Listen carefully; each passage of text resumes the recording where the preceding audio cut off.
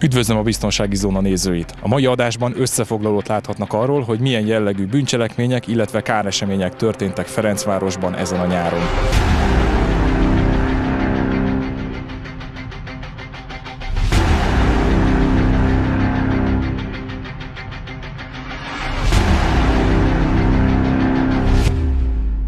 Nyáron általában a gaztüzek, a szabadtéri tüzek az elterjedtek, amiket ez az időjárás egy kicsit megakadályozott. Az, hogy folyamatosan egy, egy őszies hangulatba töltöttük ezt a nyarat, hogy sűrűbben volt csapadék, most nem feltétlenül a szélsőséges csapadékra gondolok, amikor egyszerűen nagy, nagy mennyiség esik le, hanem, hanem az egy lassú eső, az, az mindenféleképpen kedvezett annak a, annak a a szárazság nélküliségnek, ami igazából a, a tűznek kedvezett volna, az most kedvezett annak, hogy ezek a szabadtéri tüzek ezek visszaszorultak erőteljes mértékben.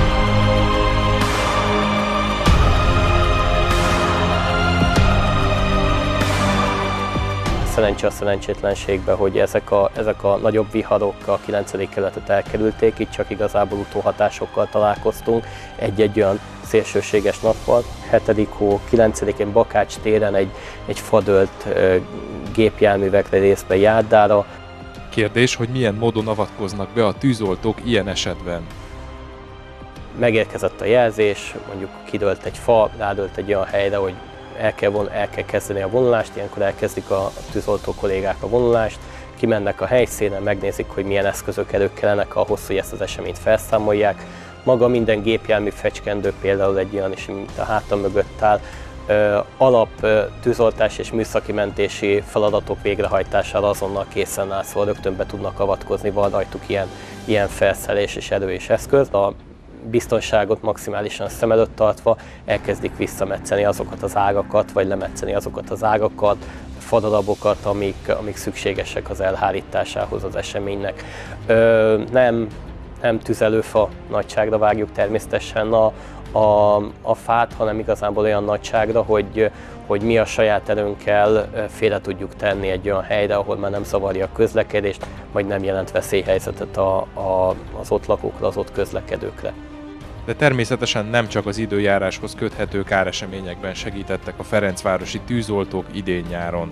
Több esetben mentünk metrósérülthöz, metrógázoláshoz. Egy ilyen metrógázoláshoz nem csak mi megyünk, mert hogy az itt lévő eszközök azok, azok kevésnek bizonyulnak, hogyha mondjuk egy, egy metrószerelvényt emelni kell, oda nagyobb erőeszközre van szükség, ezért több kerületből hozzák össze ilyenkor azt a létszámot, ami szükséges az elhárításhoz. Sajnálatos módon mostanában így, így nyaranta mindig van egy-két-három olyan eseményünk, amikor személy vagy vízbe ugrik, vagy pedig a, a parti kövekre esik valamilyen ö, ok miatt.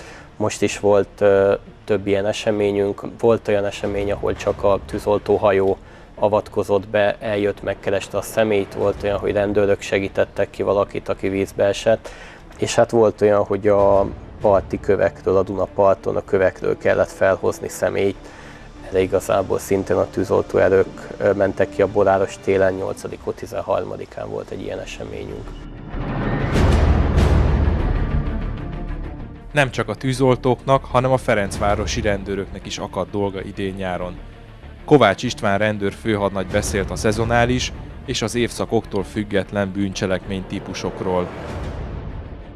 Nagyon fontos, hogy nyáron a kerületünkben zajlódó kitépések ellen kell egy olyan stratégiát felépítenünk, amely jelentős bűnmegelőzési, bűnfelderítési és bűnüldözési technikákat igényel. Idén nyáron is több elkövetőt sikerült realizálnunk, akik kitépésekkel követték el a bűncselekményeket, a lopásokat.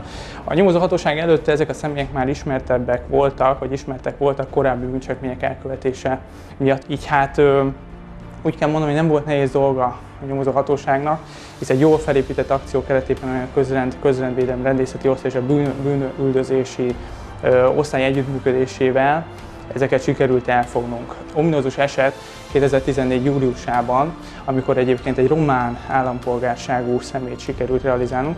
Egy nyakánc kitépő volt a Bonáros téren, követte el a cselekményét, nagy, nagy újítás az elkövetési módszerben, hogy már nem csak az idősek sérelmére követik el ezeket a bűncselekményeket, nem válogatnak az áldozatok közül ezek a személyek, őt viszont sikerült tetten érnünk és elfognunk.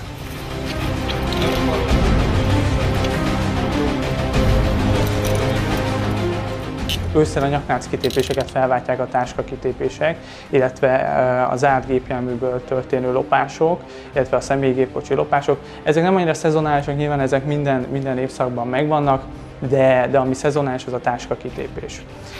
Sajátos módon az elmúlt évek elemzett és értékelt adataiból megállapítást nyert, hogy az elkövetők már nem nagyon válogatnak az elkövetési módok közül.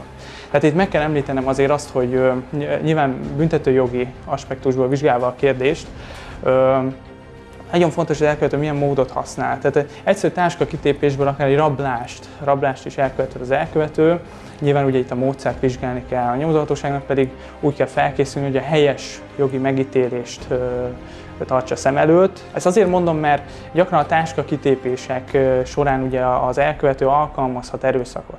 Ez, a, ez alkalmazott erőszak pedig ugye a dolog megtartása érdekében van, akkor már rablásról is beszélhetünk. Tehát ez lehet akár egy rámozdulás, egy ütés, vagy, vagy akár egy vissztáska visszahúzás.